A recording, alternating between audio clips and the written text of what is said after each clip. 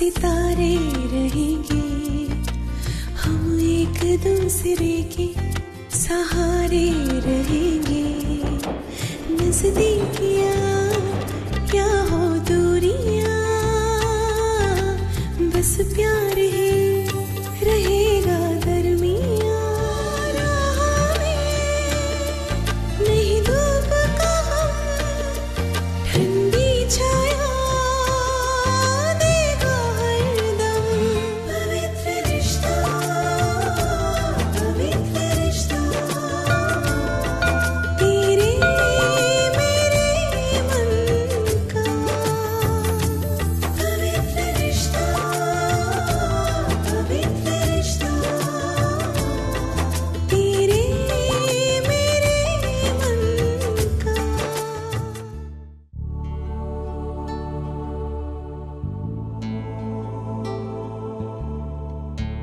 सुलोचना ताई कैसी है तू?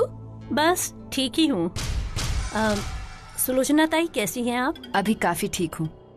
आप कैसी हैं? ताई मेरा हाल तो बस पूछो ही मत।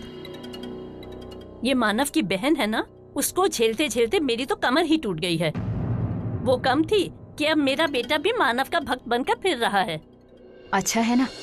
देर से ही सही लेकिन उसे अच्छी संगत तो मिली।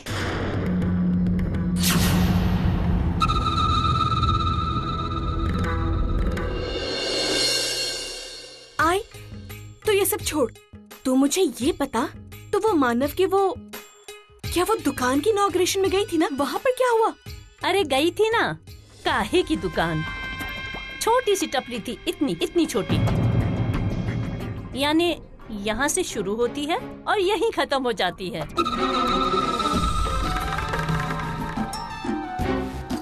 और तुझे एक बात बताऊँ? गिन चुनकर 20-25 लोग ही थे। लेकिन किसी को बैठने के लिए जगह ही नहीं थी। हाँ? सारे लोग खड़े थे। और ऊपर से गर्मी के मारे बुरा हाल था। क्या करें? मानव जैसे इंसान से और उम्मीद भी क्या की जा सकती है? और तुझे पता है इनॉग्रेशन किसके हाथों हुआ था? अब मुझे कहाँ से पता होगा? अरे गेस ना। तू ही बता ना। ग्रेट सविता ताई।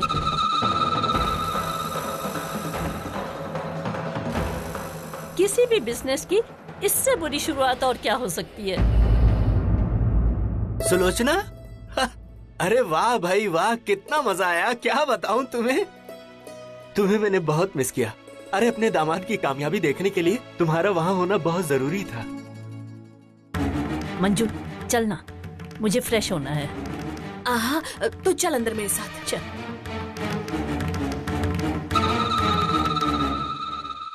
सच कहता हूँ सुलोचना वहाँ लोग मानव की इतनी तारीफ़ कर रहे थे?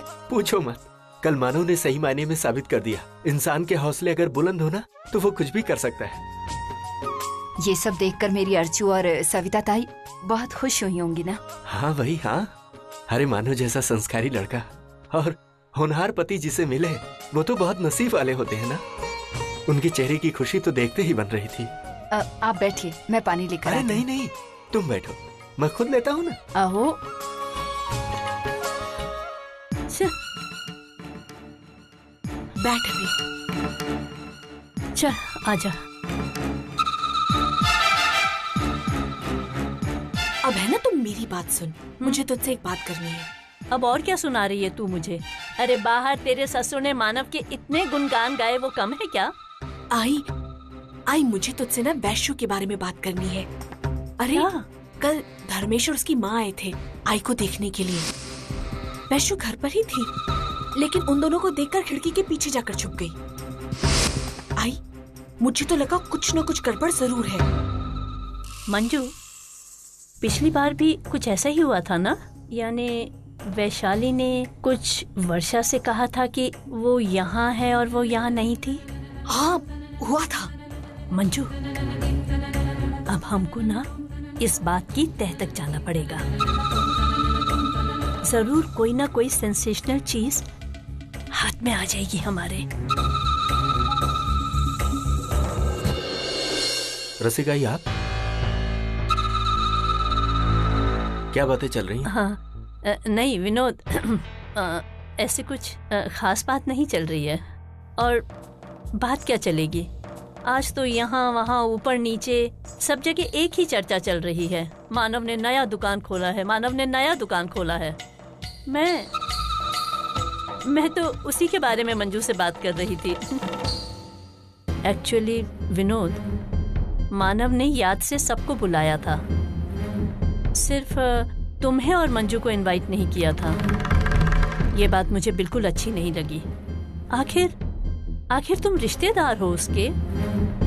तुम्हें ऐसे इग्नोर कैसे कर सकते हैं वो लोग?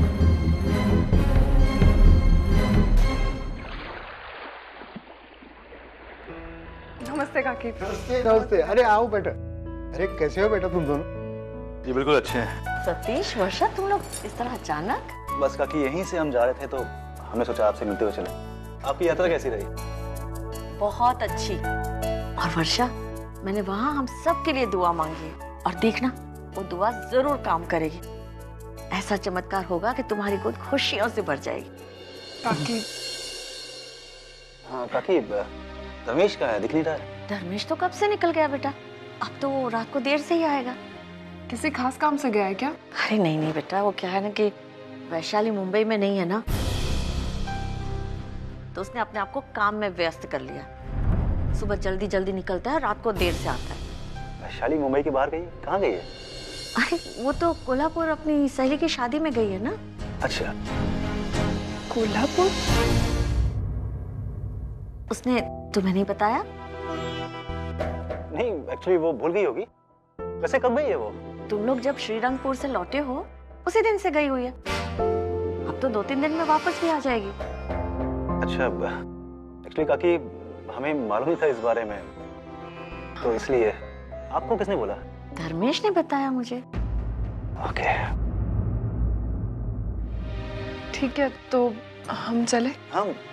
अरे बेटा कुछ चाय नाश्ता वगैरह? अरे नहीं काकी आइंदा जब धर्मेश वैशाली दोनों होंगे ना तब आएँगे आराम से। हाँ काकी और थोड़ा सा काम भी है तो फिर कभी आते हैं। ठीक है बेटा। अच्छा थैंक यू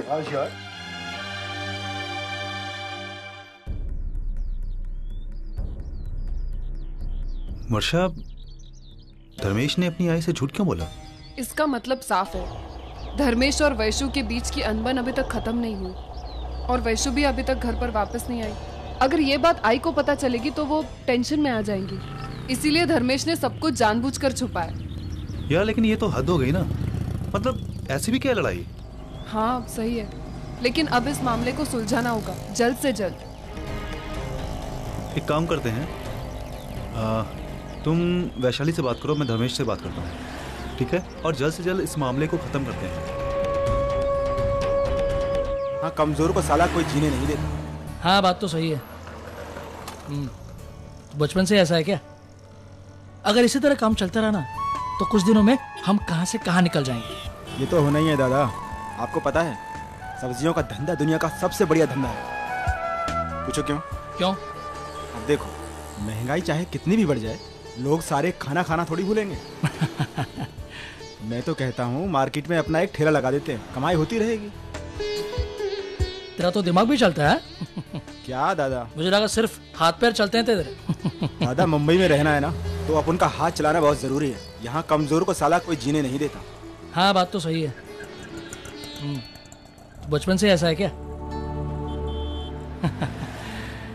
ठीक है चल देखते हैं। बस आती होगी। सुन कलेक्शन ठीक से करना। कलेक्शन याद रख हम हाँ? ये कौन है? अजीत? अरे! अजीत तू यहाँ। राकेश अरे कैसा है तू? फ़र्स्ट क्लास यार तू कैसा है? बस मज़े में। क्या चल रहा है? कहाँ है आजकल? अरे कहाँ मतलब क्या? यार जहाँ पर पहले था वही हूँ आजकल।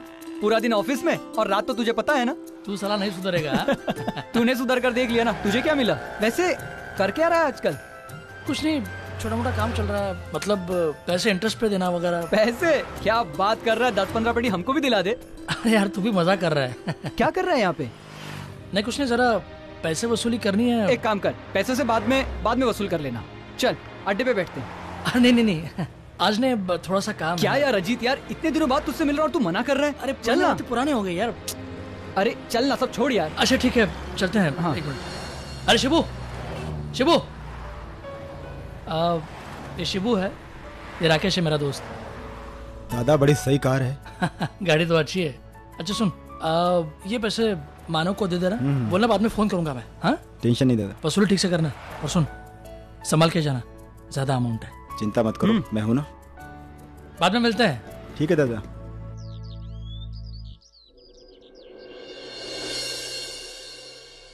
इधर बैठो यार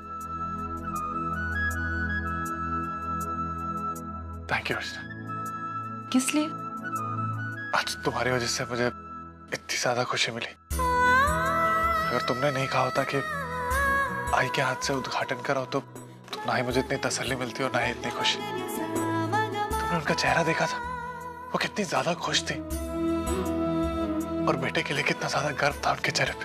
हाँ मानव और आपकी आँखों में खुशी के आँसू भी देखे। मानव, आपको पता है, मेरी आई हमेशा कहती है कि मुस्कुराहट भले इंसान को जोड़े ना जोड़े, लेकिन आँसू इंसान को एक दूसरे से हमेशा के लिए जोड़ देते हैं।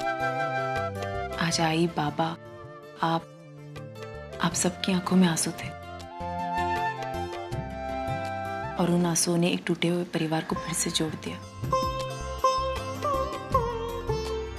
मानव, लेकिन कभी कभी मुझे लगता है कि मेरी वजह से आपके और आई के बीच में बहुत सारी कभी भूल के भी ऐसा सोचना मत। ये सच नहीं है। अर्चना तुमने मुझे प्यार करना सिखाया रिश्तों के सही मायने सिखाए। और तुम मेरे और आई के बीच में नहीं हो।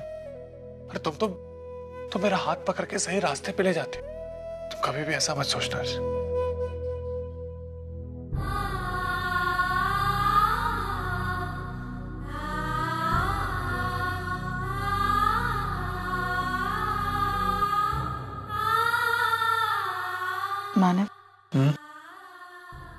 मुझे डर लगने लगा है। किस बात से? अपने आप से। मानव इंसान बहुत अजीब होता है। खुशियाँ बहुत मुश्किल से आती हैं। लेकिन फिर भी इंसान को उसकी आदत हो जाती है। और दुख। दुख भर भर कर भी आते हैं ना। फिर भी इंसान को उसकी आदत नहीं होती। और मुझे खुशियों की आदत होगी। तो अच्छी बात है। हमेशा अच्छी चीज़ों की आदतें होनी चाहिए। दादा ये लो आज का कलेक्शन तू क्या करता हुआ आ रहा था बाहर से? वो तो कुछ नहीं दादा वो सीटी बजा रहा था बस अपन क्यों? वो क्या है दादा आदत सी पड़ गई है। रात को घर जाते समय ना थोड़ा अकेला हो जाता हूँ। बहुत डर लगता है। इसलिए अपना दिल बहलाने के लिए और डर भगाने के लिए सीटी बजा लेता हूँ।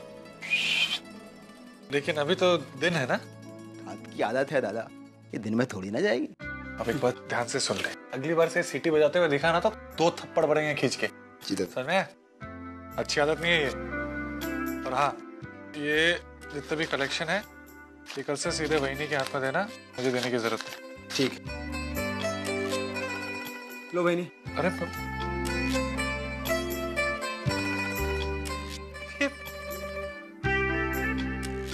अच्छा बजना ये सारे पैसे गिन लेना और ये दुकान की चाबी, इसे भी अच्छे से रख दो।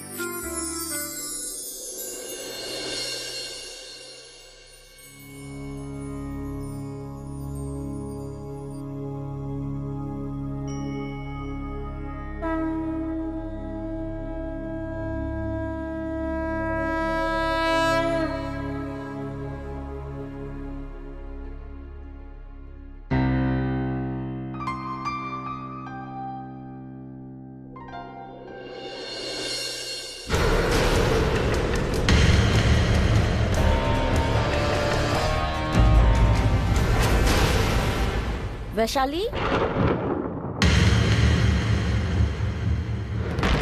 मम्मी जी आप यहाँ? अरे ये बात तो मुझे तुमसे पूछनी चाहिए। तू कोल्हापुर से कब लौटी और घर क्यों नहीं आई? शायद धर्मेश ने मेरे बारे में झूठ बोला होगा। वो मम्मी जी दरअसल मैं कल ही कोल्हापुर से वापस आ गई थी। अ, वो क्या हुआ मैं वहाँ पर रुकने वाली थी लेकिन आई के अस्थमा के अटैक के बारे में पता चला तो मुझसे रहा नहीं गया इसलिए मैंने सोचा मैं आ जाती हूँ।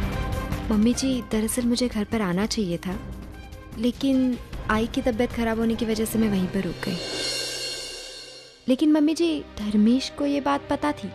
चलो ठीक है, कोई बात नहीं। वैसे भी अपनी आई की तबीयत के बारे में ऐसा सुनकर कोई भी लड़की परेशान हो जाएगी। ये बात तो मैं समझ सकती हूँ। मैंने जब सुलोचना ताई के बारे में सुना ना, परेशान हो गई थी। मैं उनसे मिलकर ही आई हूँ। अब आई से मिल लिया ना? चल, अब घर चल मेरे साथ। माँ मैं सोच रही थी कि आई के घर रुक जाऊँ जब तक आई की तबीयत ठीक नहीं हो जाती। अरे बाबा मैंने कब मना किया तुझे? तो जब तक चाहे अपनी आई के पास रहकर उसकी सेवा कर सकती है। लेकिन अभी तो मेरे साथ अपने घर चल।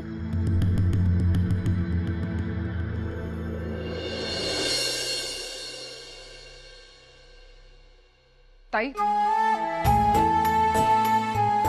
वर्षु? वर्षु तू? तू यहाँ? वैशु कहाँ है ताई? वैशु वैशु मार्केट गई होगी। आती होगी तू बैठ ना। मैंने सेवैया बनाई मैं अभी लेकर आती हूँ।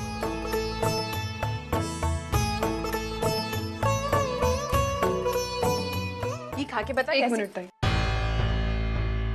ये सब क्या है?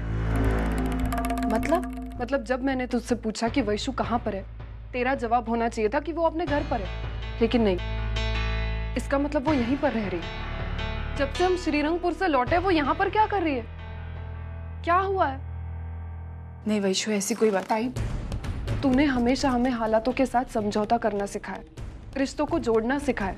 तो फिर आज क्यों वैशु को समझा बुझा कर तू उसके घर वापस नहीं भेज रही है? क्यों उसकी गलत हरकतों को बढ़ावा दे रही है तू? देख वर्षु मैं तो फिर बता क्या प्रॉब्लम है? क्या हुआ है धर्मेश और वैशाली के बीच? वर्षु वो ताई प्लीज़ झूठ मत बोल। क्योंकि मैं जानती हूँ तू कभी गलत चीज़ों को बढ़ावा नहीं दे सकती।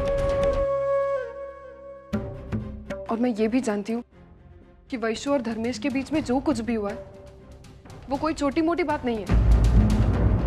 ज़रूर कोई सीरियस प्रॉब्लम है, जो वो तुझे बता सकती है, लेकिन मुझे और आई को नहीं। नहीं वर्षु ऐसी कोई बात नहीं। वैशु ने मुझे कुछ नहीं बताया। सारी बात मुझे पता चल गई। लेकिन इसका मतलब ये नहीं कि मैं तुझे सच बता दूँगी। लेकिन क्यों ताई? क्योंकि इसलिए कि ये वैशु की ज़िंदगी है। और उसे लगा कि कि ये सारी बातें वो मेरे और मानव के साथ ही शेयर कर सकती। और अगर तुझे इतना ही जानने का शौक है तो तू जाकर वैशु से बात कर ले। मुझसे जिद मत कर क्योंकि मैं तुझे कुछ नहीं बताऊँगी। ठीक है। ठीक है ताई। मैं जाकर वैशु से ही पूछती हूँ।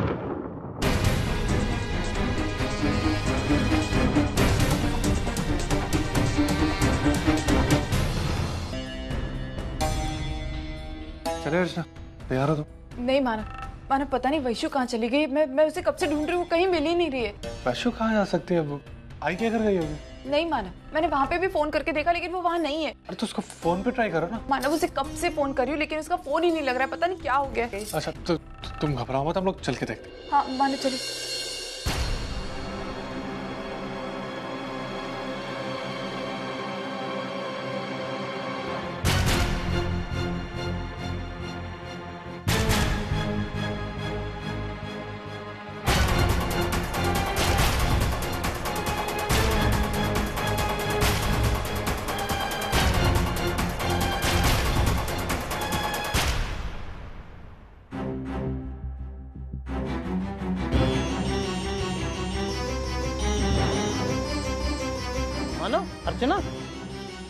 परेशान लग रहे हो?